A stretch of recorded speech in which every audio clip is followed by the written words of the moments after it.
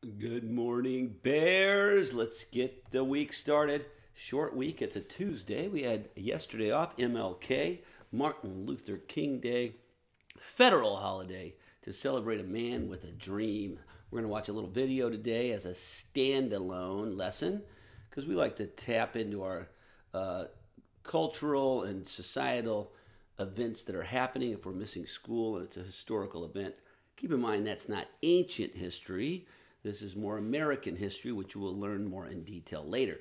But since we had the day off, it, I think it's a great uh, uh, little holiday and a great man to learn some history about. He had great vision, big dreamer, always tried to keep it positive, not negative, as he fought for the freedom of all people, including the African American communities. And so we're going to watch a little video on that. On top of that, we are going to dive into Judaism. Some people like to make a parallel between Moses and the Christian messages. By the way, Martin Luther King was a reverend, he was a Christian minister. Some people call them preachers or pastors or uh, clergy. There's different names for them, but basically a leader in the Christian churches. And so his a lot of his messages came from the Bible and specifically from the Old and New Testament. And a lot of people do parallels to uh, civil rights in trying to establish freedom for people to Moses, who brought freedom to the Israelites out of Egypt.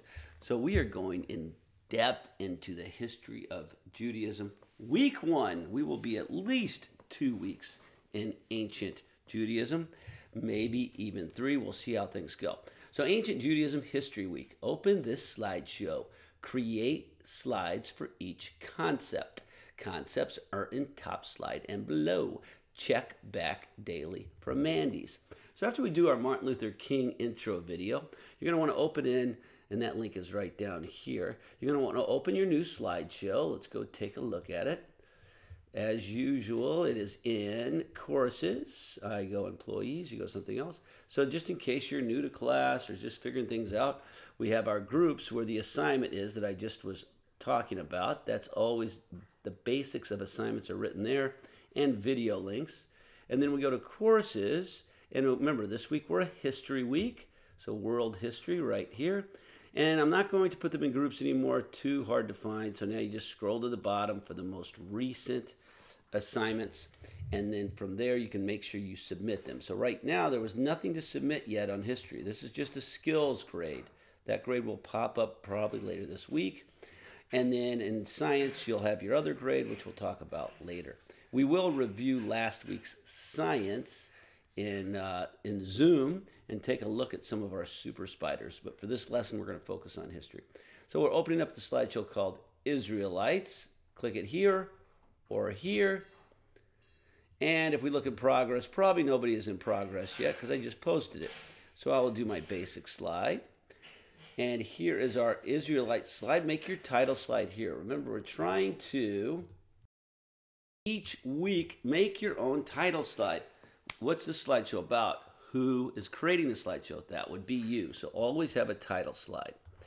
This gives you the basic outline of concepts, what to do, concepts, visual support, analysis. This gives our overview of CRs, who knew about that. So let's dive into the concepts. Week overview, Judaism timeline. So that's a concept. So I want an image of a timeline here. If you type in Judaism timeline, you will see all these images. And that's a great way to learn tomorrow when we look at your slideshows and we look at these different images.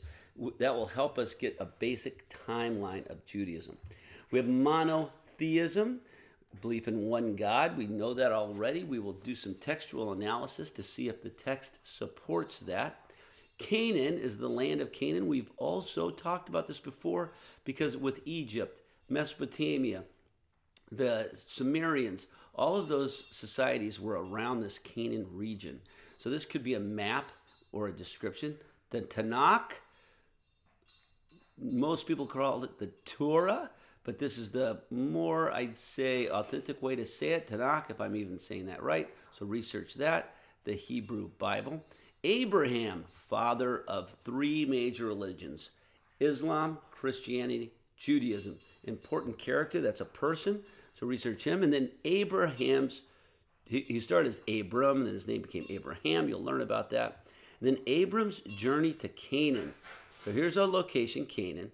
How did Abram and the Israelites get into Canaan?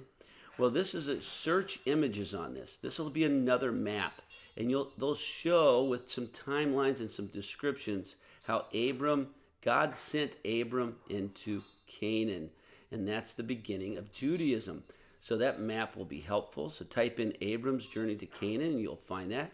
Isaac and Jacob, you'll learn by researching this that one of these two name actually turned into the name Israel of the Israelites, which is another name for the people of Judaism. And so that's an interesting story as well. These are people, they're brothers. Joseph of the Bible.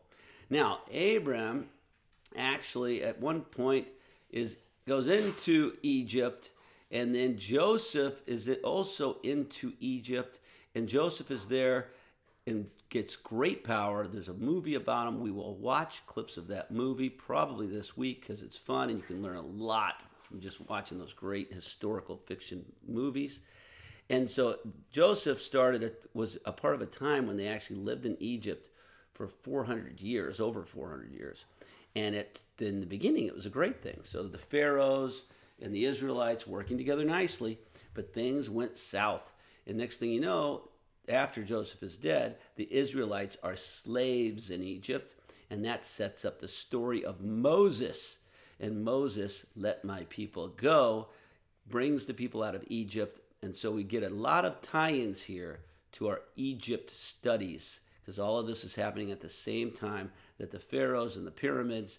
And also, remember, over with the Sumerians, way back here before even Abraham, that's where we're going to do the timeline, was the city of Ur and the Sumerians and the, uh, the buildings they built that might have been the Tower of Babel. And so they're all the ziggurats. So there's a lot going on there. Very exciting stuff.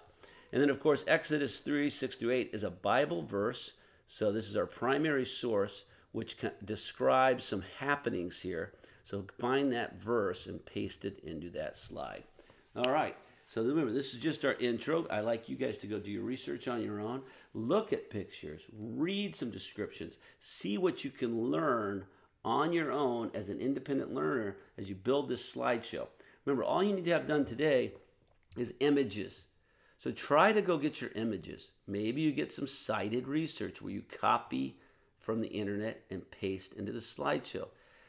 Maybe you can get that far by tomorrow because tomorrow we're going to dive in and look at your slideshows and you will help us learn about all these critical concepts and the foundations of Judaism. All right, let's go watch our uh, our MLK short video, and then I'm going to let you guys get to work on the slideshows today. Now, the MLK short video is in groups. If you're watching this on Zoom, just go click that now because I'm not going to record it on here. It makes it too long. So you go click that and watch it on your own or find another MLK. Just a little overview of that. If you're in Zoom with me, let's go watch it now. All right, that's an interesting video. That's called a biography. Remember, a autobiography is auto means, hey, my cat's scratching the chair. Cat is scratching the chair. So an autobiography is when a now the cats are fighting over there. Hey, take it easy.